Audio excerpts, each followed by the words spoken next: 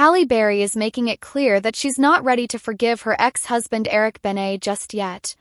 The Oscar-winning actress shared her unfiltered thoughts during an appearance on Dax Shepard's Armchair Expert podcast, opening up about her past relationship and some of the challenges she faced. I had one husband who said he was a sex addict, Berry, now 58, said. But I don't believe that. While Berry didn't mention Benet by name, it has been widely reported that the singer-songwriter sought treatment for sex addiction back in 2002, during the time of their troubled marriage. Berry and Benet tied the knot in 2001 after dating for two years. Despite their seemingly fairy tale romance, the marriage quickly unraveled, with the pair separating by 2003. The time, Berry released a statement explaining, Eric and I have had marital problems for some time now and have tried to work things out together. However, at this point, I feel we need time apart to reevaluate our union.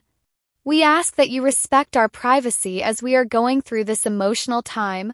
The rumors of Benet's infidelity soon followed, with many attributing the breakdown of their marriage to his alleged sex addiction. In a 2004 interview, Benet, now 57, pushed back against those claims, insisting that he was not a sex addict. I am not a sex addict, he emphasized. I am a person who, through a series of emotional events, troubles, challenges, made some really, really stupid, painful mistakes. Benet has since moved on and rebuilt his life.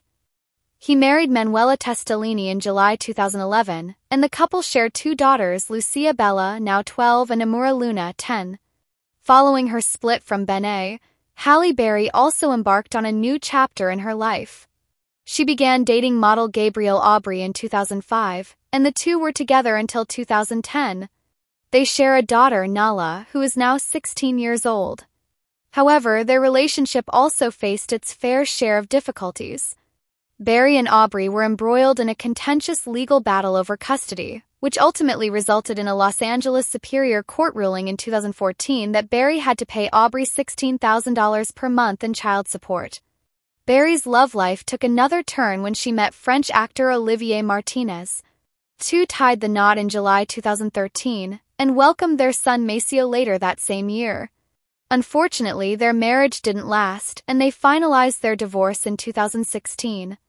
Just last month, Berry claimed in court documents that she had paid over $200,000 in legal fees to fight for custody of their son, including $80,000 that went toward voluntarily covering Martinez's own legal expenses.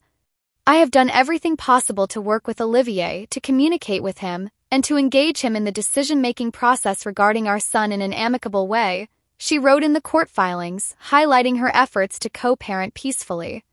Despite the ups and downs in her personal life, Berry seems to have found happiness once again. Since 2020, she has been in a relationship with musician Van Hunt. Couple reportedly met during the COVID-19 pandemic and have been inseparable ever since. In December 2021, Berry publicly declared her love for Hunt during an event, calling him the love of her life. After years of heartbreak and challenges, it seems that the Catwoman star has finally found a partner who brings her joy and stability. Halle Berry's journey through love, heartbreak, and resilience has captivated audiences over the years. From her tumultuous marriage to Eric Benet, her contentious custody battle with Gabriel Aubry, to finding love again with Van Hunt, Berry's story is one of perseverance and strength. As she continues to share her experiences, it's clear that she remains unapologetically herself, unwilling to let the challenges of her past define her future. Become a part of the Playful Parade community. Smash that like button, drop a comment, share with your friends, and don't forget to subscribe. Road to 10,000 subscribers.